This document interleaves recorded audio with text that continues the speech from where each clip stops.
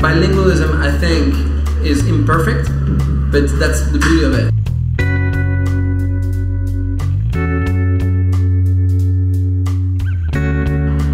Be open-minded.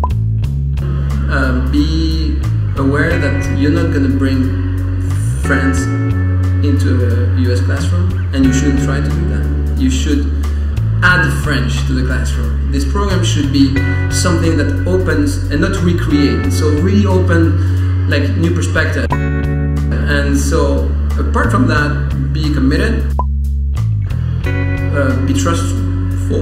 Like you have to trust the school. You have to try, and you cannot always try to micromanage it. You have to let the school do its own job because for the school it's a huge, huge commitment. And you have to be also aware of how difficult it might be to find some teachers. And you have to be able to help the school, provide books, you know. It, it's really solidarity with the school.